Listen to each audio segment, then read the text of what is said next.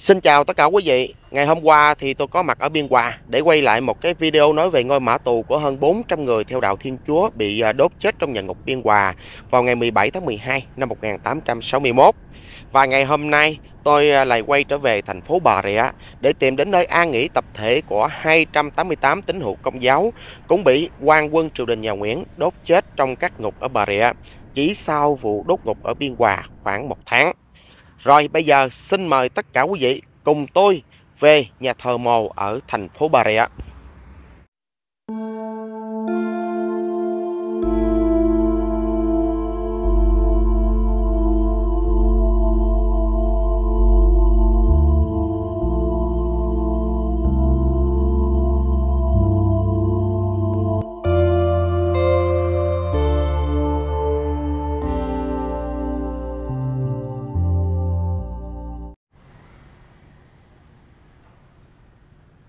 Và bây giờ thì chúng ta đã đến với nhà thờ mồ. Đây chính là nơi an nghỉ của 288 vị tiền nhân tử đạo tại các nhà ngục ở Bà Rịa nha quý vị.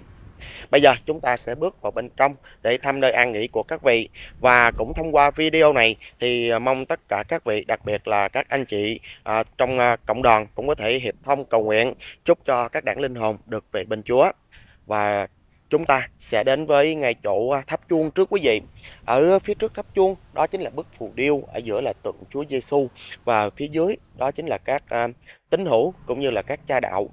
À, bức phù điêu thể hiện được à, những người tín hữu là người An Nam xưa cũng như là các vị cha truyền đạo ở người nước ngoài và Chúa giang tay và giống như là luồng ánh sáng đức tin á, nó lan tỏa đến mọi người quý vị.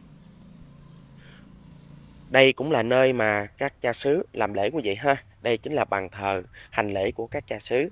Và kế bên bức phù điêu chính là cây à, bia đá ghi là những ngọn đuốc sống. Đây là cái nội dung ghi lại các à, vị đã tử đạo cách đây 160 năm tại các cái nhà ngục ở Bà Rịa này. Bên dưới thì cũng có một cái à, bức à, ghi lại thông tin được làm bằng đồng đính ở bên dưới và nếu như mà quý vị có đến thăm nhà thờ mồ thì quý vị có thể bước lên đây để tham quan và đọc lại những cái dòng à, ghi lịch sử về à, nhà mồ này cũng như là những cái sự kiện liên quan đến các vị à, tử đạo ở à, khu vực Bà Rịa. Và đây chính là toàn cảnh nhà thờ mồ. Một ngôi nhà thờ rất nhỏ, rất yên tĩnh, ngay chỗ mặt tiền đường Quỳnh Tấn Phát của thành phố Bà Rịa. Tại nhà thờ mồ này thì cách uh, ngay chỗ nhà thờ chính tòa Bà Rịa không xa lắm quý vị, cỡ vài trăm mét thôi. Rồi bây giờ chúng ta lại ngay chỗ uh, đài thánh giá. Ngay chỗ à, cái đài thánh giá này thì có ghi là kỷ niệm năm thánh năm 1875. Thì tôi nhớ có một chi tiết là năm 1875 thì cha Lovet, lúc đó là cai quản giáo sứ ở Biên Hòa đó, thì à, cha cũng đã tìm hiểu về sự kiện đốt nhà ngục Biên Hòa, cũng như là đốt nhà ngục ở Bà Rịa này. Rồi bây giờ chúng ta tiếp tục à, tham quan ngay chỗ đài kỷ niệm thánh giá. Bên dưới là các cái bia đá ghi các là tên của các vị tử đạo. Họ Vinh, họ Thành, họ Thơm, họ Đất Đỏ. Và ở đây cũng là nơi an nghỉ của hai cha xứ quý vị ha. Rồi à, xung quanh ở đây thì à, có cây xanh và ngôi nhà nguyện rất là nhỏ nhưng mà cũng rất là yên tĩnh rất là trang nghiêm. Và bên trong nhà thờ chính là ngôi mộ nơi an nghỉ của 288 vị tử đạo bây giờ chúng ta sẽ bước vào để tham quan nha quý vị ngôi mộ của các vị thì à, được đặt trước gian cung thánh Phía trên chính là bàn thờ à, nơi các cha hành lễ. Và quý vị thấy đây cũng là một ngôi mộ có kích thước thông thường như là mộ của một người. Và mộ này cũng là nơi an nghỉ của 288 người. Cách đây 160 năm, các vị đã sống vì đức tin và chiến đấu vì đức tin và đã hy sinh đến giây phút cuối cùng cũng vì đức tin. Và trước mắt quý vị chính là ngôi mộ đá bằng cẩm thạch mà cha Okra đã đặt bên Hồng Kông từ năm 1865 khi mà cha trị bệnh bên Hồng Kông, cha đã đặt ngôi mộ đá bằng cẩm thạch này để à, mang về Việt Nam và thay thế cho ngôi mộ bằng gạch trước đây. Và tôi thấy có một bài kệ trên ngôi mộ đá. Hai bên là những dòng chữ Hán tự thì tôi không đọc được để ờ, tôi đọc à, bài kệ bằng tiếng Việt cho quý vị nghe. 300 bổn đạo sát nằm đây, những trong sống lại hưởng phước đầy. Vì Chúa tù lao dư ba tháng, cam lòng chịu cháy chết chỗ này, lập mộ tán chung vào một huyệt. Giáo nhân coi đó nhớ hàng ngày. Rồi, ngày hôm nay thì chúng ta đang đứng trước nơi an nghỉ của 288 vị tiền nhân, những người đã bị đốt cháy trong các nhà ngục ở Bà Rịa trong thời kỳ vua Từ Đức. Vào đêm ngày mùng 7 tháng 1 năm 1862, trước khi mà thực dân Pháp tiến vào chiếm các cái thành ở Bà Rịa, quan quân triều đình nhà Nguyễn nhận thấy không thể nào địch lại được quân đội Pháp, cho nên đã rút lui và trước khi rút quân á, quan quân triều đình nhà Nguyễn đã phóng hỏa các nhà ngục và đốt chết các cái tù nhân công giáo bị giam giữ trong các nhà ngục. Và họ đã trở thành những nhân chứng hùng hồn nhất về đức tin theo Chúa Kitô. Và họ đã truyền lại đức tin cho chúng ta đến ngày hôm nay. Những người sống vì đức tin, sống vì dám tin theo Chúa Kitô và chiến đấu đến giây phút cuối cùng. Và cuối cùng, họ cũng đã được về bên Chúa Kitô. Tôi tin chắc chắn là như vậy, quý vị. Ngôi mộ tương đối nhỏ giống như một ngôi mộ thông thường uh, dành cho một người. Rồi, bây giờ uh, chúng ta bước ra bên ngoài và tôi sẽ gửi đến quý vị những thông tin liên quan đến uh, nhà thờ mồ. Khu mộ tập thể của các vị tiền nhân tử đạo ngày nay tên là nhà thờ mồ ở đường Quỳnh Tấn Phát của thành phố Bà Rịa. Và nhà thờ mồ này chỉ cách nhà thờ chính tòa Bà Rịa khoảng vài trăm mét thôi. Trên khu đất này ngày trước cũng chính là nghĩa trang của giáo sứ Và trước mắt chúng ta một ngôi nhà thờ nhỏ có tháp chuông nhỏ ở phía trước giáp với mặt đường là đài thánh giá có ghi kỷ niệm năm thánh 1875. Bên dưới thánh giá là các cái bia đá khắc tên của từng người tự đạo có tên thánh phía trước. Khác với à, mã tù ở Biên Hòa, ở đây có bia khắc tên của các vị tử đạo trong vụ đốt ngục ở Bà Rịa cách đây khoảng 160 năm.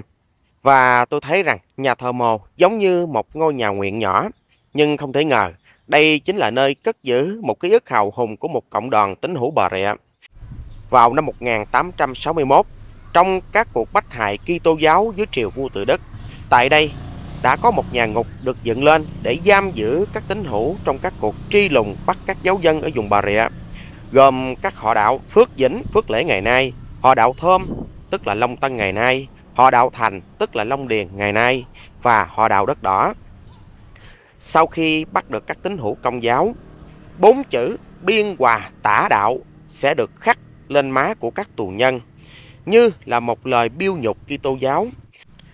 Trong một tài liệu xưa chép rằng Nhà ngục Phước Vĩnh được dành riêng để giam hơn 300 đàn ông, còn đàn bà và trẻ con thì được giam ở các nhà ngục khác ở Long Kiên, Long Điền và Đất Đỏ. Từ tháng 9 năm 1861, các tín hữu công giáo bị giam cầm trong các nhà ngục này phải chịu rất nhiều đau đớn. Nhiều người đã chết trong các nhà ngục như vậy. Đêm mùng 7 tháng 1 năm 1862, khi mà giặc Pháp tiến quân từ Vũng Tàu theo ngã sông Vinh để đánh chiếm Phước Tuy, quan quân triều đình nhà Nguyễn biết không thể kháng cự nổi nên quyết định rút lui khỏi Bà Rịa. Và vì không muốn tha cho người công giáo trước khi rút quân đi, họ đã nổi lửa đốt cháy các nhà ngục, thiêu sống các tù nhân.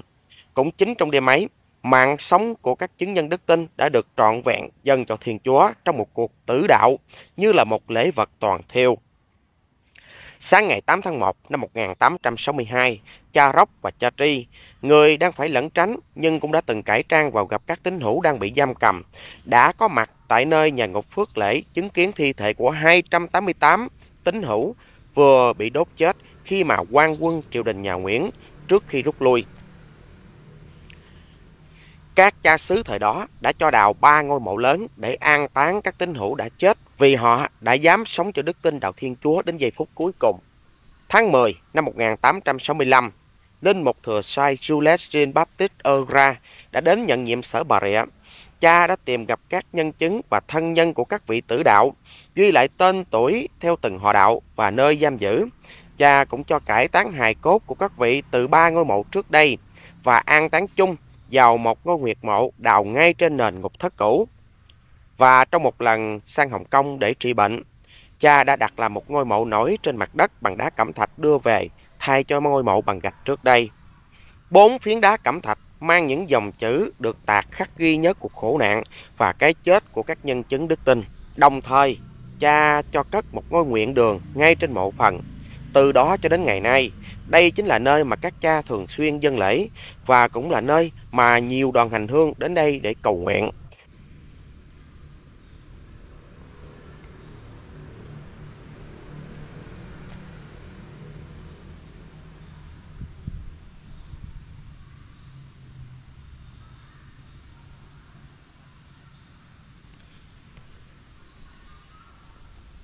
Và để củng cố thêm các cái tư liệu, tôi cũng à, xin nói thêm diễn biến trận đánh chiếm thành Bà Rịa của giặc Pháp.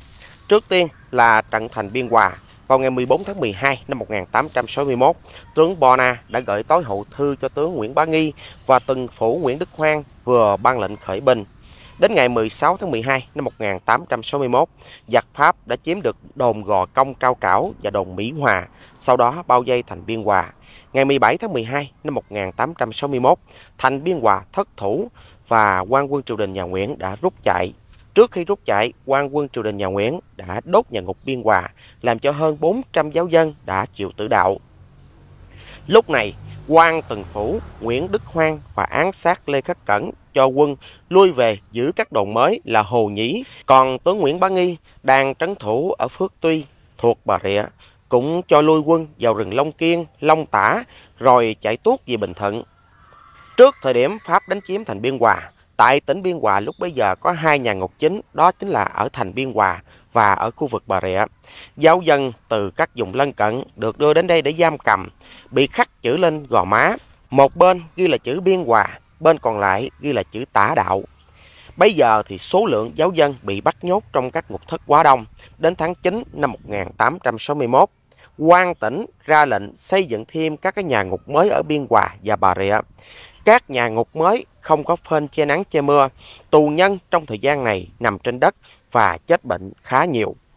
Và sau khi chiếm được thành Biên Hòa, người ta đã phát hiện ra xác của hơn 400 giáo dân bị đốt chết trong nhà ngục Biên Hòa sau khi mà quân nhà Nguyễn đã bỏ thành và sau này đã trở thành ngôi mã tù mà tôi vừa quay cho quý vị xem ngày hôm qua.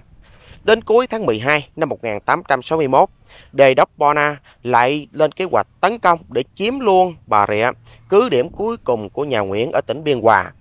Vào đầu năm 1862, giặc Pháp đã chiếm luôn cứ điểm ở Bà Rịa.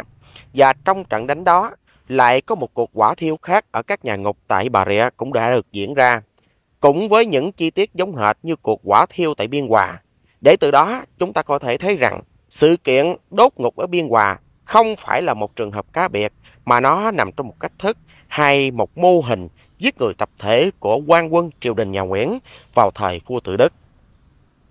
Vụ đốt tù nhân tại nhà ngục Bà Rịa đã làm cho Linh Mục Lovet vào thời kỳ đó rất cay đắng và ngài cũng đã trách móc đề đốc Bona dù đã biết trước, quân đội nhà Nguyễn sẽ đốt chết các giáo dân khi thấy quân Pháp tới Bà Rịa. Nhưng mà đề đốc Bona lại không quả quyết trong cách tiến quân để nhanh chóng giải cứu an toàn cho các giáo dân đang bị giam trong các nhà ngục. Linh mục Lovet đã thuật lại vụ đốt ngục Bà Rịa rất chi tiết như sau. Xin phép được trích đoạn bản dịch. Chiếm thành Bà Rịa 8 tháng 1 năm 1862 Tại đó, một lần nữa, mấy trăm giáo dân đã bị thiêu sống do lỗi lầm của viên chỉ huy đội quân viễn chinh. Những người giáo dân này bị giam trong bốn nhà ngục khác biệt. Đàn ông 300 người tại Bà Rịa, 200 mét từ cơ quan quận, 135 đàn bà và trẻ con khoảng một dặm xa hơn, 140 đàn bà và trẻ con ở trung tâm tổng Long Diêu mở ngoặt là Điền, tức là Long Điền 125 đàn bà và trẻ con tại giáo phận đất đỏ. Bốn trại giam đó chứa tổng số khoảng chừng 700 giáo dân. Ngày 7 tháng 1 năm 1862, trong khi chúng ta tới gần đồn, ông Kroc, người hiện nay là giám mục tông tòa ở Bắc Kỳ, và lúc đó làm thông dịch viên trên tàu đã cảnh báo đề đốc Bona rằng Bà tọa lạc trên một con rạch cạn rất hẹp và nhiều sinh lầy. Chỉ có thể đến đó khi con nước lớn thôi. Do đó, cần phải chuẩn bị cho điều này. Nếu không thì chúng ta sẽ phải ngừng lại khoảng một dặm cách thành. Mà như vậy thì sẽ cho người An Nam đủ thời giờ để châm lửa đốt các nhà tù và thiêu chết các giáo dân như họ vừa làm ba tuần trước đó ở Biên Hòa. Không có gì hiển nhiên hơn sự quan sát này. Nhưng để đáp lời, vị chỉ huy lại giữ người giáo sĩ trong cabin của ông ấy và tiếp tục theo đường lối của ông ta cho tới khi ông ta bị mắc cạn trên bụng. Và chúng ta thì vẫn cách Bà Rịa 5 km. Thấy ra lỗi lầm của mình nhưng đã quá trễ. Vị đề đốc dù có một trái tim tốt đẹp và ý muốn giải thoát các giáo dân bằng mọi giá, đã cho một trung đoàn bộ binh đổ bộ và thám thính tình hình. Viên sĩ quan chỉ huy đã tiến lên một cách khó khăn cùng với quân lính đến khoảng 2 km trước nhà tù. Nhưng buộc lòng phải trở lui do màn đêm buông xuống và quân lính An Nam đã chặn đường. Cơ hội cứu các giáo dân đã mất. Nửa tiếng đồng hồ sau đó, chúng ta thấy từ xa những ngọn lửa bốc lên từ bốn nhà tù mà các ông quan An Nam biết rõ trước rằng họ không thể chống cự với quân ta đã ra lệnh thiêu đốt. Sáng ngày hôm sau, khi quân ta đổ bộ, họ đã không thấy gì ngoài tro bụi và xương cốt bị cháy xém ở nơi trước đó là nhà tù đàn ông. Chỉ có 10 trong số 300 tù nhân thoát thân. Trong ba cái tù chứa đàn bà và trẻ con, lòng thương hại của lính gác đã khiến họ mở cửa tù và hầu hết đều chạy thoát. Tuy vậy, vẫn còn nhiều nạn nhân, khoảng 50 đứa trẻ đã làm mồi cho ngọn lửa, mẹ chúng đã không cứu được kịp thời. Ở một trong những nhà tù, viên đội đã đứng chặn ngay tại cửa và chỉ để từng người đi qua để có thể trấn lột tất cả những gì họ có. Lòng tham đáng khinh bỉ của ông ta là nguyên nhân cho cái chết của 100 người đàn bà đã bị thiêu trong ngọn lửa khi họ bị chặn lại ở cửa nhà tù. Hết đoạn trích. Như vậy, đã có nhiều tài liệu nói về chính sách cấm đạo của vua Minh Mạng, vua Thiệu Trị và vua Tự Đức. Tôi sẽ để lại những cái đường link của các cái bài viết ở bên dưới phần bình luận. Trong à, thời vua Tự Đức cầm quyền từ năm 1847 đến 1883, trong khoảng 10 năm đầu cầm quyền, đó là thời gian mà quân Pháp lấy cái cớ để xâm lược Việt Nam. Và theo quan điểm của tôi, và để nói một cách công bằng và nhìn nhận lịch sử cần có sự trung dung đó là khi Pháp xâm lược Việt Nam, tôn giáo chỉ là cây cớ. Bên cạnh đó, chúng ta không thể phủ nhận sự xuất hiện của một số giáo sĩ và giáo dân trong đội quân phiển chinh của thực dân Pháp trong các trận đánh và sau này là trong các chính trường tại Đà Nẵng và Gia Định trong các năm 1858, 1859, 1861 đã làm cho triều đình nhà Nguyễn thấy rằng Pháp sử dụng tôn giáo như một cái cớ để gây ra cuộc chiến tranh tại Việt Nam và biến Việt Nam trở thành thuộc địa của Pháp. Trong quốc sử quán của Triều Nguyễn, Viện Sử học Đại dịch năm 2007 và trong Đại Nam Thực Lục tập 7 có ghi rằng chính giám mục Ferelin địa phận Huế đã tích cực vận động chính phủ Pháp đem quân đánh Việt Nam. Giám mục Lefebvre địa phận Sài Gòn tích cực giúp quân Pháp tấn công gia định. Đồng thời, hưởng ứng lời kêu gọi của các giáo sĩ Pháp, nhiều giáo dân đã đầu quân theo giặc để chống lại triều đình. Khi quân Pháp đánh Đà Nẵng, nhiều giáo dân ở Bắc Kỳ và Đà Nẵng đã đầu quân cho thực dân Pháp. Đội quân này do tướng chỉ huy là Regan Giannuoli thành lập và đóng ở bán đảo Sơn Trà. Họ đã tham gia đánh Đà Nẵng rồi sau đó vào Nam đánh Đại Đồn Chí Hòa. Cũng chính vì lý do này mà sự đối đầu giữa công giáo và triều đình nhà Nguyễn chỉ có gia tăng thêm chứ không bao giờ giảm bớt nên triều đình của những năm còn lại dưới thời vua Tự Đức đã ban hành ra nhiều lệnh cấm đạo hơn với nhiều hình thức tàn nhẫn hơn. Và sau khi triều đình phải ký hòa ước năm 1862, phong trào văn thân của các nhà nho yêu nước chống đối cả triều đình và cả công giáo lại phát triển rầm rộ kể từ năm 1862. Trong thời kỳ này, đã có vô số giáo dân bị sát hại ở Trung Kỳ và Bắc Kỳ. Và theo quan điểm của tôi, nếu giáo dân chức sắc bắt tay giặc để giày xứ quy hương thì việc họ bị giết trên chiến trường cũng là điều bình thường. Vậy còn các giáo dân chỉ vì đức tin, chưa kể trong các nhà ngục tại Bà Rịa và Biên Hòa, có nhiều phụ nữ và trẻ em cũng bị đốt chết. Điều này thì quá bất nhẫn và vô nhân đạo. Thiết nghĩ vào thời kỳ này, giữa các vị thừa sai và triều đình nhà Nguyễn đã không có một cách tiếp cận và thấu hiểu hợp lý lẫn nhau. Chính đạo công giáo cũng là nạn nhân bị lợi dụng trong mưu đồ chính trị thâm độc của thực dân Pháp. Đồng thời, trong cái thiết chế xã hội vào thời kỳ đó, quân chủ chuyên chế, vua là tối cao thì không có chúa nào được cao hơn cho dù là chúa Kitô. Chưa kể, nho học trong xã hội phong kiến Việt Nam thời kỳ đó là một bức tường ngăn cách sự đổi mới trong tư duy của cả triều đình và trong xã hội Việt Nam. Và chúng ta cũng không phủ nhận được những giá trị đạo đức văn hóa mà nho học mang lại.